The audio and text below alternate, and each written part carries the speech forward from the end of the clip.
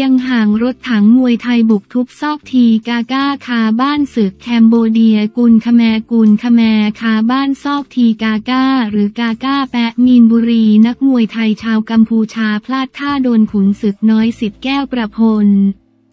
มวยไทยแท้หวดแข้งซ้ายเข้าก้านคอถึงสุดหวบให้กรรมการนับปลายยกสองครบสามยกขุนศึกน้อยชนะคะแนนนักชกขวัญใจชาวคแมเจ้าถิ่น ในการแข่งขันแคมโบเดียกุลคแม KKIF ที่เมืองเสียมเรียบประเทศกัมพูชาเมื่อสุดสัปดาห์ที่ผ่านมากาก้าแปะมีนบุรีซึ่งเดินทางกลับบ้านเกิดไปชกมวยที่กัมพูชา หลังจากเกิดกระแสความขัดแย้งระหว่างมวยไทย กับกุนคาแมขึ้นในช่วงซีเกมครั้งที่ 32 จนไม่มีใครจัดให้ขึ้นชกมวยไทยเลย อย่างไรก็ตามสื่อเขมรให้ความสนใจยอดมวยไทย เชื้อสายเขมรโดยเมื่อปลายปีที่แล้ว กาก้าขึ้นชกเอาชนะคะแนนเฉิงฟูเหิงในมวยรายการเดียวกัน ซึ่งจัดที่จอ ทาเคอร์และประโคมข่าวอยากให้กาก้าได้ rematch กับรถถัง จิตรเมืองนนท์ยอดมวยไทยแชมป์โลกของ ONE Championship ค่าตัว 10 ล้านบาทอีกครั้งหลังเคยเจอกันในเชิงมวยไทยในศึก ONE เมื่อปี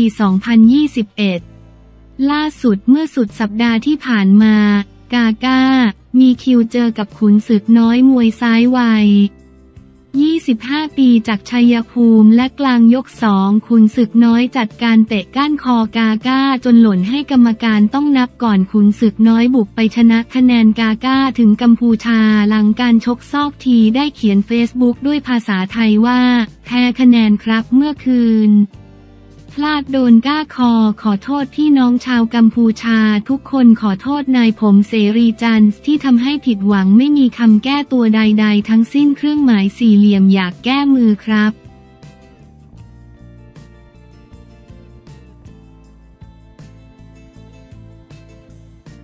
นายกรัฐมนตรีรุดรับหนังสือค้านแลนบริดขอชาวบ้านไม่ต้องห่วงได้ประโยชน์ทั้งภาคใต้ นายกรัฐมนตรีรุดรับหนังสือค้านแลนบริดขอชาวบ้านไม่ต้องห่วงยก หนองงูเห่า เมกะโปรเจกต์ใหญ่ช่วยประเทศได้ประโยชน์ ย้ำเป็นโอกาสครั้งสำคัญไม่ใช่แค่ระนอง แต่ได้ประโยชน์ทั้งภาคใต้วันที่ 22 มกราคม 2567 ที่อุทยานแห่งชาติแหลมสน ตำบลม่วงกลวง อำเภอกระเปอจังหวัดระนอง นายเศรษฐาทวีสิน นายกรัฐมนตรีและรัฐมนตรีว่าการกระทรวงคลัง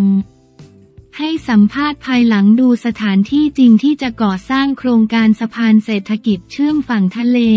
อ่าวไทยอันดามัน แลนบริดว่าวันนี้เป็นครั้งแรกที่ลงพื้นที่บริเวณดังกล่าวและได้ฟังการนำเสนอ ว่าจะถมทะเลออกไปเท่าไหร่มีช่องน้ำอย่างไรบ้าง ซึ่งที่นำเสนอมาจะต้องสร้างต่อหม้อเป็นบริดออกไปทำให้ประชาชนประกอบอาชีพเรือประมงได้ ก็เห็นถึงศักยภาพที่คณะกรรมการแลนบริดได้นำเสนอขึ้นมา เมื่อถามว่าในพื้นที่ยังมีการคัดค้านจะทำความเข้าใจอย่างไร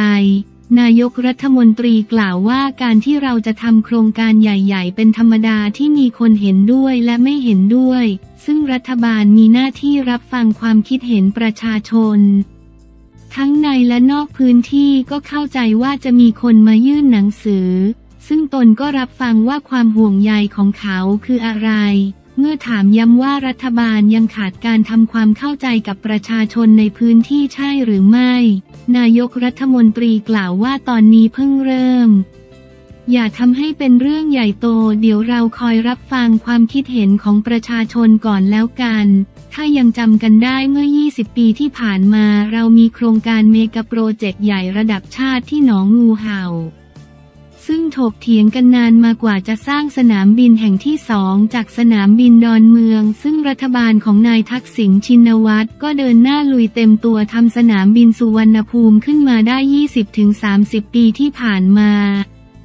เราไม่มี mega project ขนาดใหญ่เลยในประเทศ ก็ไปดูว่าประโยชน์ที่เราได้รับจากสนามบินสุวรรณภูมิ 20 ปีที่ผ่านมาจนถึงวันนี้ประโยชน์มีมหาศาลทำให้เราเป็นจุดศูนย์กลางท่องเที่ยวแห่งสำคัญ บางที่ยังบอกว่าเราเป็นแหล่งท่องเที่ยวที่ดีที่สุดในโลก ถ้าเราไม่มีโครงการเหล่านี้เราก็คงไม่มาถึงจุดนี้ดังนั้นเมื่อมีเมกะโปรเจกต์ก็ต้องรับฟังความคิดเห็นประชาชน ถือเป็นเรื่องสำคัญ เมื่อถามว่าอยากให้นายกรัฐมนตรีย้ำถึงประโยชน์และสร้างความมั่นใจให้กับคนในพื้นที่ นายเศรษฐากล่าวว่าแลนบริดเป็นโครงการที่จะเชื่อมต่อระหว่างอันดามันกับอ่าวไทยเข้าด้วยกัน เป็นการย่นระยะทาง การขนถ่ายสินค้าที่ต้องผ่านช่องแคบมะละกา ปัจจุบันเริ่มหนาแน่นและมีอุบัติเหตุเกิดขึ้น ฉะนั้นการขนถ่ายสินค้าจากส่วนหนึ่งของโลก ไปอีกส่วนหนึ่งของโลกก็มีความอึดอัดพอสมควร การที่เราจะสร้างเมกะโปรเจกต์ที่เชื่อมทะเลอ่าวไทย ไปทะเลอันดามันและส่งต่อไปทั่วโลก เป็นเรื่องที่สำคัญทั้งยังนำความเจริญก้าวหน้าเข้ามาสู่ประเทศทั้งการขนถ่ายสินค้า การเป็นแรงจูงใจให้บริษัทข้ามชาติหลายบริษัทมาสร้างแหล่งผลิตส่งออก ไม่ว่ารถยนต์เครื่องจักรกลอุปกรณ์อิเล็กทรอนิกส์ ทั้งนี้หากไปดูในรายละเอียดการขนส่งสินค้าน้ำมันไปทั่วโลก 60%ผ่านทางช่องแคบมาลากา ซึ่งตรงนี้ถือเป็นความมั่นคงทางเศรษฐกิจที่เราจะต้องผลักดันให้ประเทศมีการลงทุนในโครงสร้างพื้นฐานในเรื่องนี้ ผู้สื่อข่าวถามถึงผลกระทบทางสิ่งแวดล้อม ขณะที่ในพื้นที่อยากให้ศึกษาให้รอบด้านก่อน นายกรัฐมนตรีกล่าวว่า ต้องศึกษาก่อนจริงๆ แล้วขั้นตอนต่อไปจะไปดูแหล่งน้ำพุร้อน เรื่องการท่องเที่ยว ดังนั้นเรื่องการท่องเที่ยวให้ความสำคัญอย่างยิ่ง การที่เราจะสนับสนุนตรงนี้ต้องควบคู่เรื่องของความเจริญในหลายๆ มิติ เมื่อถามว่าขั้นตอนการชี้แจงกับประชาชนต้องศึกษาก่อนอนุมัติ การผลักดันโครงการในตอนนี้เหมือนผลักดันไปก่อนที่จะมีการศึกษา นายเศรษฐากล่าวว่าต้องควบคู่กันไป ยังไงก็ต้องฟังความคิดเห็นของประชาชน เมื่อถามว่ามีระยะเวลาหรือไม่ นายเศรษฐากล่าวว่า เดี๋ยวก็ต้องไปดูจะช้าหรือเร็ว ก็ต้องขึ้นอยู่กับเสียงเรียกร้องด้วยว่าจะต้องทำมากน้อยขนาดไหน แต่ขอยืนยันต้องพยายามอย่างเต็มที่ให้เป็นที่เข้าใจของทุกฝ่าย เมื่อถามว่าชาวบ้านกังวลในเรื่องการจ้างงานที่จะเกิดอุตสาหกรรมรอบด้านทางท่าเรือ จะต้องทำความเข้าใจและชี้ชัดเรื่องอาชีพด้วยหรือไม่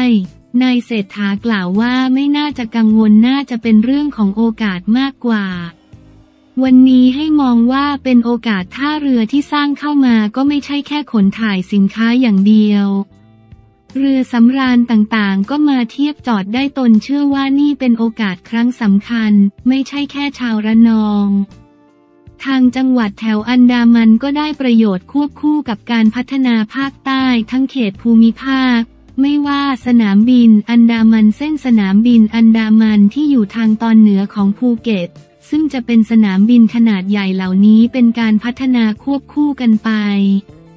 ซึ่งรัฐบาลเราเชื่อว่าจะยกระดับชีวิตความเป็นอยู่ของคนไทยทั้งประเทศ โดยเฉพาะภาคใต้เมื่อถามว่าต้องดูเรื่องความมั่นคงด้วยหรือไม่ นายเศรษฐากล่าวว่ายืนยันว่าเวลาเราทำโครงการเมกะโปรเจกต์ทั้งหมดเราดูแลให้ครบทุกมิติ ทั้งนี้นายกรัฐมนตรีได้สั่งให้ผู้ว่าราชการจังหวัดระนองดูแลประชาชนและรับฟังความคิดเห็นว่าเขามีความคิดเห็นต่อโครงการแลนบริดอย่างไร ทั้งนี้รัฐบาลพร้อมยินดีรับฟังผู้สื่อข่าวรายงานว่าก่อนที่นายกรัฐมนตรีจะมาถึงปรากฏว่าได้มีกลุ่มคัดค้านติดป้ายผ้าขนาดใหญ่ เขียนข้อความเป็นภาษาอังกฤษว่า no land bridge land bridge ซึ่งเจ้าหน้าที่ได้กันไม่ให้เข้ามาในพื้นที่ เพียงให้อยู่บริเวณด้านหน้าทางเข้าอุทยานเท่านั้น เพื่อเลี่ยงการเผชิญหน้าจากนั้น นายกรัฐมนตรีได้ออกมารับหนังสือร้องเรียนจากนางสาวทมสิงสุวรรณตัวแทนกลุ่มคนไทยพลัดถิ่นตำบลราชกรูด ที่อาศัยอยู่บริเวณที่จะก่อสร้างแลนบริดจ์อยากให้รับฟังเสียงสะท้อนจากประชาชนในพื้นที่ โดยขอให้ชะลอไปก่อนได้และพื้นที่ที่จะทำแลนบริดจ์มีคนไทยพลัดถิ่นอาศัยอยู่ ตรงนี้ยังไม่มีบัตรประชาชนอยากให้เร่งสำรวจพี่น้องที่ยังไม่ได้รับสัญชาติ อยากจะให้ช่วยค่าใช้จ่ายตรวจ DNA พิสูจน์สัญชาติด้วยนายกรัฐมนตรีกล่าวว่าไม่ต้องห่วงความเดือดร้อนของประชาชน รัฐบาลนี้ให้ความสำคัญ แลนบริดถือ เป็นโอกาสแต่การมีโอกาสก็ต้องให้โอกาสกับคนพื้นที่ได้แสดงความคิดเห็นเช่นกัน หน้าที่ของรัฐบาลก็ต้องมารับฟังความเห็นของประชาชน ตัวแทนของกลุ่มคนไทย พลัดถิ่นได้ย้ำกับนายกรัฐมนตรีอยากให้กำชับเจ้าหน้าที่ในพื้นที่ ก่อนจะรายงานอะไรขอให้แสดงความจริงใจด้วย เพราะมันมีการรายงานว่าชาวบ้านเห็นด้วยกับโครงการแลนบริดทั้งหมด เพราะมันมีบางกลุ่มที่ไม่เห็นด้วยกับโครงการ นายกรัฐมนตรีจึงตอบกลับว่าการรับฟังต้องมีทั้งสองทางและนายอนุทินชาญวีรกูลรองนายกรัฐมนตรีก็ลงพื้นที่บ่อย ขอให้ทุกคนไม่ต้องเป็นห่วงเรามีความจริงใจอยู่แล้ว